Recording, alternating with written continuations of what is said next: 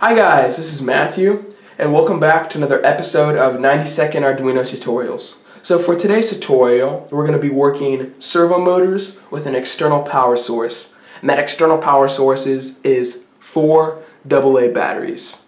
So the first thing I just want to note out before I start this project is never use a 9 volt battery as your external power source to power servos because these servos are only fit to handle 6 volts and a 9 volt will just completely burn them out. So never do that. Always use a pack of AA's or a rechargeable battery that is specified for the servo motors.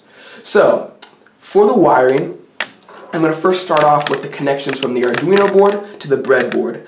And there, there's only one connection, and that's from the ground port right here, the blue wire, and that goes into the ground rail on the, on the breadboard. Now there's a lot more wiring regarding the servo motors going into the breadboard, so I'm going to get to that now.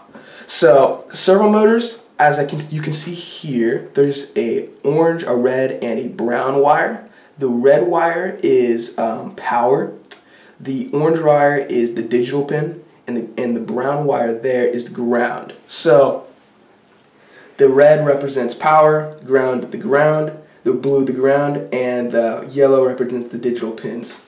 So here I just plug them straight into um, the coordinating rail on the breadboard. So as you can see the red ones go into the power, um, the blue ones go into the ground here represented by the color, and then the digital pins go into the Arduino board here. So for the since there's four servo motors, there's four digital pins, and I just picked seven, six, five, and four. Um, you can pick any of your liking, just make sure to specify it in the code. So uh, moving on to our code here.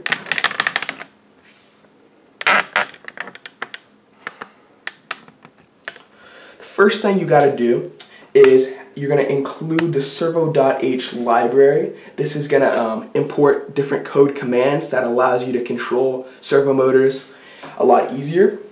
And then you're going to specify some variables here with some of the library code. So you're to put servo, the capital S, and then these are names you can just make up. I picked servo 1, servo 2, servo 3, and servo 4. Just make sure to have the servo with a capital S first.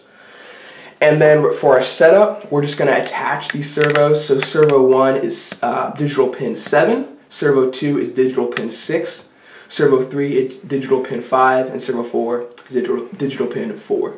So pretty simple there. And then for our loop down here, we're going to write um, servo 1 is going to go to 0 degrees, servo 2 is going to go to 0 degrees, all of them are going to 0 degrees, and then a delay of 2000, which is 2 seconds, and then they're all going to write 180 degrees 180 180 180 and they're going to just go back and forth. Their range they servo motors have a range of 0 to 180 so that's why that's why the values are there.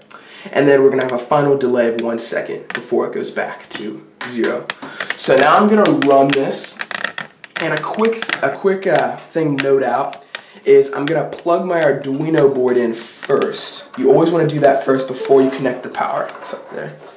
So then I'm going to plug in the red cord into the power on the external power source, the double A's, and then the blue goes into the ground.